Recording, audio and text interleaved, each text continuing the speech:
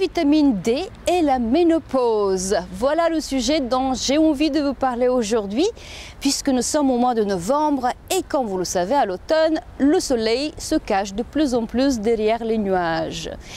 Ne faites pas comme 8 Français sur 10 qui sont en déficit de vitamine D. D'après une étude toute récente de 2015, qu'est-ce que cela veut dire en déficit? C'est-à-dire que dans votre sang, vous devez avoir entre 30 et 100 mg de vitamine D par litre de sang. Si vous êtes au-dessous de 30 mg, cela veut dire que vous êtes en déficit et il faut se précipiter chez votre gynécologue pour qu'il puisse vous donner une ordonnance pour acheter donc des ampoules de vitamine D. Et pour mesurer le taux de la vitamine D, ben, vous aurez aussi au préalable vous êtes allé donc déjà voir votre gynéco qui vous fait une analyse de sang pour voir, où vous en êtes avec la vitamine D. Je m'appelle Albena, je suis donc la créatrice de marre de la ménopause parce que moi-même, je n'ai ras-le-bol de tous les symptômes de la marre de la ménopause qui sont, comme vous le savez, une multitude. Je vais vous en parler prochainement des top 5, de top 5 de ces euh, symptômes que je vois de façon la plus récurrente dans le groupe privé qui existe maintenant, qui a plus de 200 membres sur Facebook et je vous invite d'en faire partie également.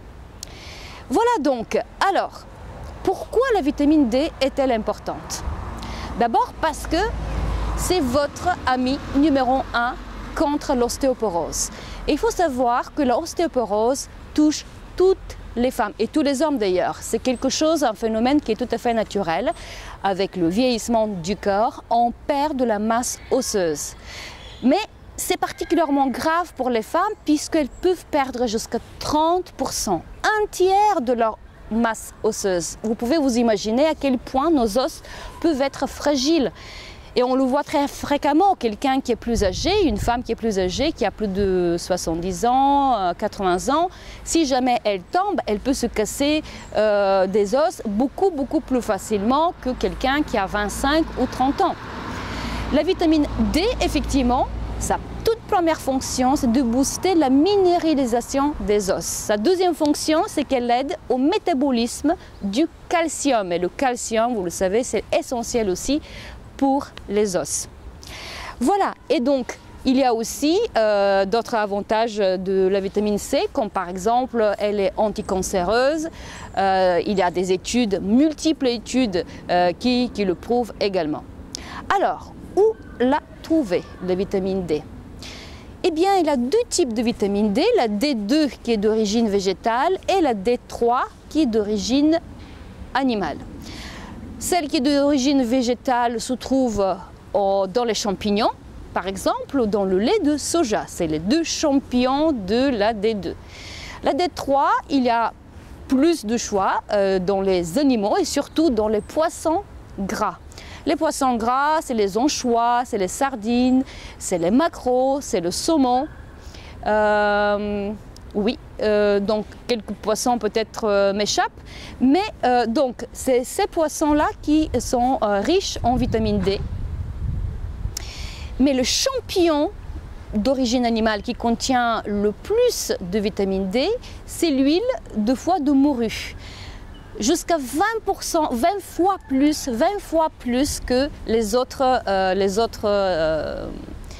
animaux, les autres poissons, les autres sources de vitamine D.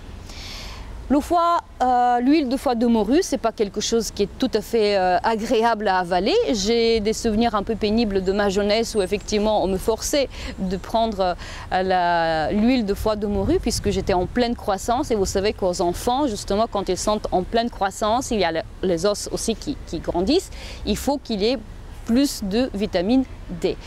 La bonne nouvelle, c'est que vous pouvez le trouver en complément alimentaire.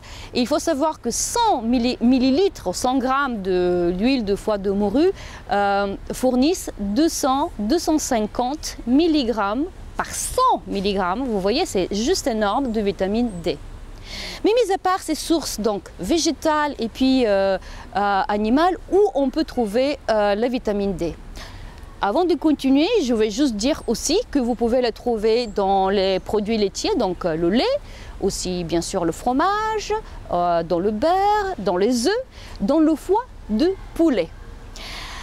Eh bien, la vitamine D, elle est synthétisée de façon tout à fait naturelle dans notre peau le soleil. Donc il faut s'exposer au soleil tout simplement. Et puis quand vous êtes plus dans le nord, comme moi par exemple, je suis à Paris, euh, je ne me plains absolument pas au niveau soleil puisque l'on a beaucoup. Mais ceux qui sont dans le sud par exemple de la France, sur la côte d'Azur, eux, ils sont plus chanceux de ce point de vue puisqu'ils ont 300 jours sur les 365 où il y a du soleil. Il est recommandé, donc il y a beaucoup d'études, poussé sur le sujet de euh, s'exposer quand même au soleil au moins deux fois par semaine pendant 15 à 20 minutes. Donc il faut le chercher le soleil. Où es-tu le soleil? Il faut qu'il vienne pour effectivement vous aider de synthétiser la vitamine D. Et puis effectivement, il y a bien sûr les, les ampoules de vitamine D, de vitamine D euh, synthétique tout simplement. Voilà mes chers MM euh, comme je vous appelle, si vous êtes comme moi, si vous avez un petit peu marre de la ménopause qui nous quand même inflige pas mal de symptômes désagréables. Voilà pour la vitamine D. Je vous incite vraiment fortement de voilà, déjà voir votre taux de vitamine D. Ça se trouve que vous êtes euh, tout à fait euh, dans les normes entre 30 et 100 mg par litre. Si ce n'est jamais pas le cas, ben écoutez, il faut faire, hein, il, faut, il n'y a qu'à faire euh, ce que je viens de, vous dire, donc une alimentation, exposition au soleil, puis effectivement les ampoules de vitamine D euh, qu'on peut trouver dans toutes les bonnes pharmacies.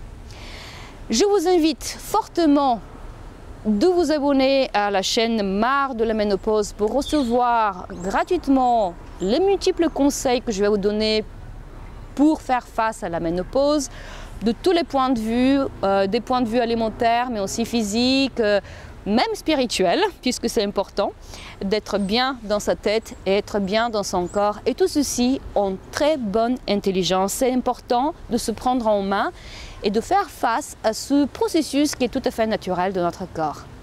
Je vous embrasse fort, mesdames, celles qui ont marre de la ménopause, les MM. Je vous dis à très vite, abonnez-vous à la chaîne et puis vous pouvez aussi euh, retrouver le groupe privé Marre de la ménopause avec point d'exclamation sur Facebook et faire une demande pour adhérer à ce groupe qui est euh, super.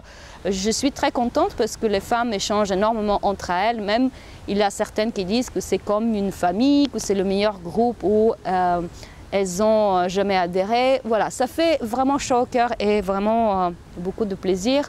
Les coordonnées euh, de, groupe Facebook et puis de la page et puis du, blog hein, qui, qui est en ligne également se trouvent au-dessous de cette vidéo.